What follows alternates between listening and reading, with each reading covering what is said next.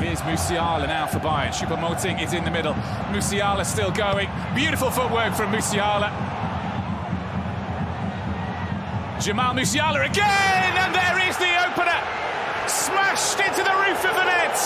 Against Musiala. It's well done as well by Musiala. This is Asano into the area. Asano! The equaliser for Bochum. So Stöger with the corner.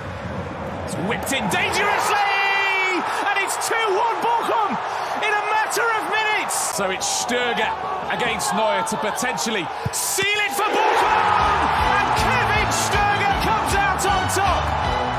Less than quarter of an hour remaining. This, this is incredible. Whoa. This is incredible football that we're watching and witnessing right now. catch your breath time at the Ruhr Stadium, but there's no time to do it. It's Mathys Tel, still Tel, and Ornetz throws everything. There's Kane, and there's the goal back for Bayern.